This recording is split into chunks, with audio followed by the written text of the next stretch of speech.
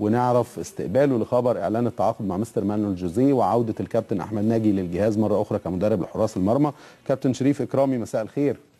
آه، مساء النور محمد إيه الأخبار؟ وبرحب بكابتني آه، الكبير كابتن أحمد ناجي. إزيك يا كابتن؟ إزيك كابتن شريف؟ كابتن شريف الحمد لله على سلامتك. وطمنا عليك كده وقول لنا وصلت لأي مرحلة في برنامج العلاج والتأهيل؟ والله أنا الحمد لله اللي بقالي آه، عديت شهر ونص من مرحلة العلاج. وكانت المرحله اللي دايما ما كانش فيها أي تمارين علاجات بتتعمل غير حاجات بسيطة يعني تمارين كلها ستاتيك وثباتات ممكن أعملها يعني مب- في البيت. بس إنما أنا من يوم ال- الاربع اللي فات ابتديت برنامج جديد آه، إن أنا هبتدي خلاص إن شاء الله أخش جيم تدريجيا آه، أبتدي أشتغل تمرينات لرجلي المصابه أنا كنت المفروض محظوظ إن أنا أشتغل عليها خالص. فابتدي واحدة واحدة لحد إن شاء الله كده قدامي آه، يعني من شهر لشهر ونص إن شاء الله واكون مع فريق بإذن الله. تبدأ بقى تدريبات في الملعب. آه إن شاء الله. يعني شهر بس أو أنا شهر يعني أنا إن شاء الله ناوي إن أنا أعمل يعني مجرد ما يسمح لي إن أنا أنزل الملعب يعني مم. بس هشتغل مع مع المؤهل كابتن طارق عبد العزيز وبالاتفاق مع كابتن أحمد ناجي. يعني أنا إن شاء الله ناوي إن أنا عشان ما اتاخرش قوي إن أنا أبتدي تأهيلي مع كابتن ناجي وكابتن طارق الاثنين مع بعض. طيب كابتن شريف إكرامي كمان يهمني أعرف استقبالك لخبر إعلان التعاقد مع مستر مانويل جوزيه وعودته لتولي المهمة وعودة كمان الكابتن أحمد ناجي اللي كان مسؤول عن آه، تدريب حراس المرمى والإشراف على مستوى حراس المرمى طول السنوات اللي فاتت.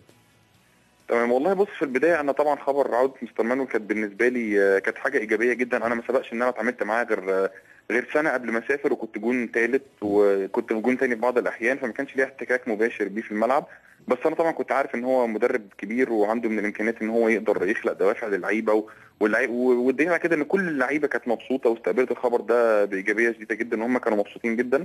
وأنا بالتالي كنت يعني ال- الشعور ده أنا كنت حاسس إن هو إحنا محتاجين مدرب زي ده وقيمة زي ده ومدرب عنده فكر ويعني أنا مش عايز أقول بس الكلام عشان تفتكر الناس إن أنا بجامل أو بعمل حاجة. أنا دلوقتي آه، أنا بكلمك أنا واحد مصاب. أنا بتكلم إنه يعني أنا مش جوه الفرقة دلوقتي في الملعب. أنا بره بس أنا بحس بالفرقة. يعني كل ما أروح الفرقه أنا حسيت دلوقتي في وجود مستر مانويل إن الجو مختلف. إن في دوافع والفرقة كلها مبسوطة وال... يعني والجو مستقر جدا الفترة دي.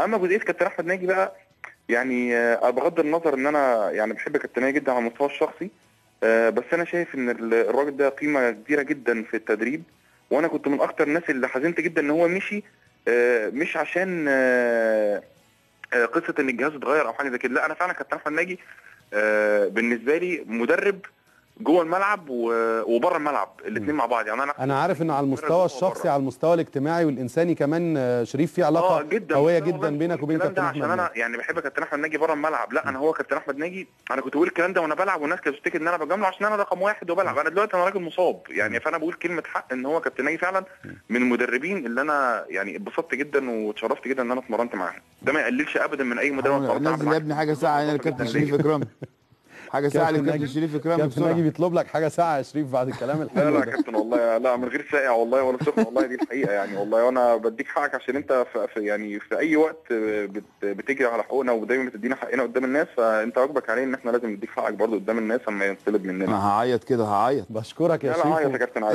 بتمنى لك التوفيق طبعا. إن شاء الله ترجع لنا في أسرع وقت ممكن وترجع في أفضل حالاتك الفنية والبدنية إن شاء الله. والحمد لله على سلامتك مرة تانية.